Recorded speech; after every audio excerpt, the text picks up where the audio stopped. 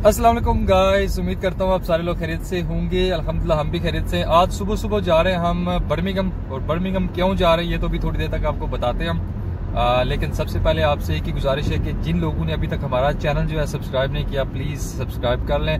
Bell का icon लाजमी press कर लें ताकि आने वाली हर वीडियो आपको मिलती रहे। जी तो अब आपको बताते हैं कि बर्मिंगम जी तो अभी आपको बताते हैं कि बर्मिंगम हम क्यों जा रहे हैं सुबह सुबह बन समर के। बेसिकली आज ना हमारी गाड़ी की एमओटी कल या परसों एक्सपायर होने वाली है और कल हमने फ़ोन किया था एमओटी वाले एक भाई को बर्मिंगम में और वो जो है वो अभी एमओटी उन्होंने अपॉइंटमेंट दिया आज की हमें। सो अभी जा रहे हैं हम, ग्यारह बजे हमारी अपॉइंटमेंट है और मैंने सोचा कि आपके साथ ये वीडियो लाजमी शेयर कर दो। जो जो लोग यूके से मुझे देख रहे हैं, उन्हें तो पता है कि एमओटी क्या होती है, लेकिन जो मुझे यूके से बाहर पाकिस्तान से या एशिया की किसी कंट्री से देख रहे हैं ये खास कर वीडियो उनके लिए, मेरे साथ रहिए वीडियो के एंड तक और आपको मैं दिखाऊँगा कि एमओटी कैसे होती है, कौन करता है और कौन सी जगह होती है एमओटी ठीक है जी? और ये क्यों ज़रूरी है यहाँ पर? हर साल के बाद यहाँ पर एमओटी आपको गाड़ी की करवानी पड़ती है।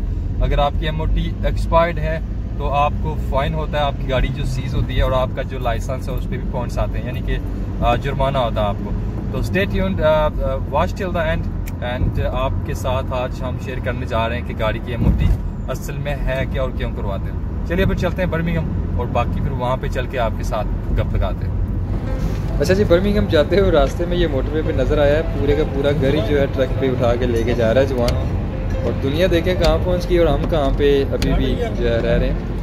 असल मकसद ये है कि ये आपके साथ शेयर इसलिए कर रहा हूँ वीडियो कि क्या ये एक ईजी सोलूशन नहीं है? वैसे पाकिस्तान बहुत से गरीब लोग हैं जो अपना घर अफोर्ड नहीं कर सकते। ये सारा लकड़ी का बना होगा आई थिंक और इसके बाहर ये शीट्स वगैरह लगी होती हैं पूरा पर देखें, छत भी साथ डला हुआ है, दीवारियाँ, दरवाजे सब ये जाके इन्होंने कहीं रख देना एक जगह बस, और फिर लोगों ने इसमें रहना शुरू कर देना, ठीक है जी?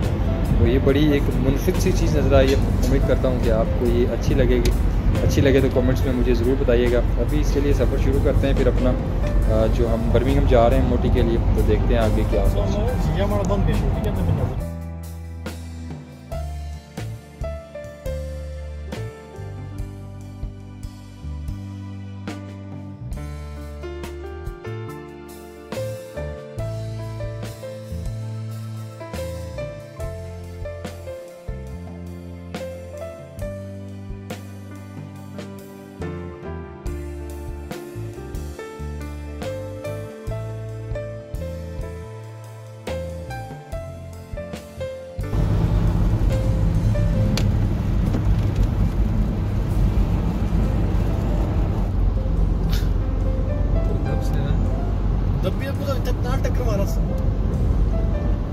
फ़ायदा क्या वो अगले पैंजर वक्त बाहर सारे जगह पाँच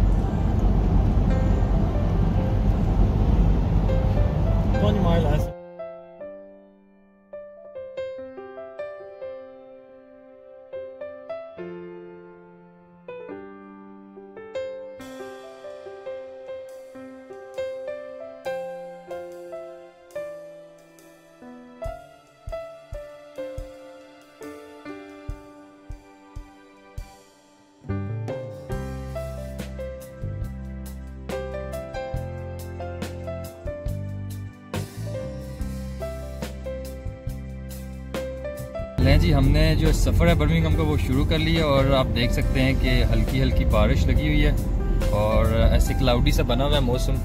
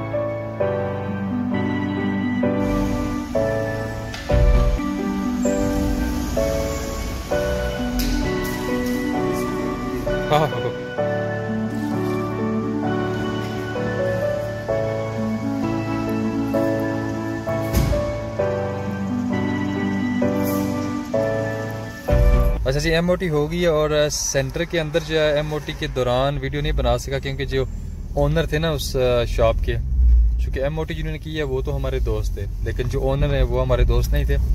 तो उन्होंने मना कर दिया कि हम वीडियो नहीं बना सकते तो अब इसलिए हम फोर्स नहीं कर सकते उनको क्योंकि उनकी प्राइवेट प्रॉपर्टी है वो। सो so गाइस आपने देखा है कि एम तो हमने करवा ली, अब वापस जा रहे हैं हमटन हम बर्मिंगम आए थे एम करवाने के लिए। और सेंटर के अंदर की वीडियो नहीं बना सका, आपको बताया कि क्यों नहीं बना सका।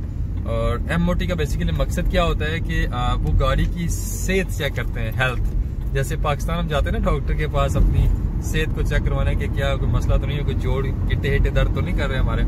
सेम ये गाड़ियों के लिए होता है यहाँ पर। गाड़ी का हर एक चीज़ वो चेक करते हैं टायर उसके शॉक्स उसके spring engine steering seat belt हर चीज़ उसकी चेक करते हैं यानी कि। वो देखते हैं कि गाड़ी फिट है रोड पे चलने के लिए। आ, इसमें कोई ऐसा मसला तो नहीं है कि जो एक्सीडेंट का बाइस बने।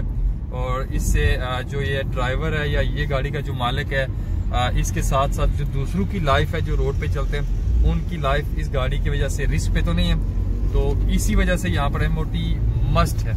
एमओटी आपको करवानी पड़ती है और अगर कोई मेजर मसला हो गाड़ी में, जैसे टायर बहुत कमज़ोर है शाक टूटा हुआ है, या फिर स्टेयरिंग में बहुत ज़्यादा प्ले है, या उसके जो बुश वगैरह हैं, वो टूटे हुए हैं, जिनकी वजह से एक्सीडेंट के चांसेस हो सकते हैं मोटरवेज पे। क्योंकि यहाँ पे रोड्स आपको पता है सारी ऐसी हैं कि जहाँ पे तकरीबन 60 की स्पीड है या अबव की स्पीड है। बहुत कम रोड्स ऐसी हैं जहाँ पर 40 माइल्स पर आवर की स्पीड होती है। सो ये सारी चीज़ें करने के लिए ये एमओटी करते हैं ताकि गाड़ी की जो है वो प्रॉपर टेस्टिंग की जाए और उसको फिर सर्टिफाई किया जाए। जैसे ये सर्टिफिकेट मैंने आपको दिखाया ये वाला कि गाड़ी जो है वो रोड पे चलने के काबिल है या नहीं है। तो उम्मीद करता हूँ कि छोटी सी वीडियो जो है आपको आज की मेरी अच्छी लगी होगी। ये इन्फॉर्मेटिव वीडियो थी साथ साथ पाकिस्तान में भी कोई ऐसा सिस्टम वैसे होना चाहिए? एशियन जो भी कंट्रीज़ है, उनमें ऐसा सिस्टम होना चाहिए। एक तो गाड़ी प्रॉपर रजिस्टर रहती है और दूसरा फिर जो मालिक होता है, उसको भी सेटिस्फेक्शन रहती है कि मेरी गाड़ी में ये मसला है या मेरी गाड़ी चलने के काबिल है या नहीं है। क्योंकि ज़िंदगी से, जान से ज़्यादा ज़रूरी तो कोई चीज़ नहीं भाई मेरे।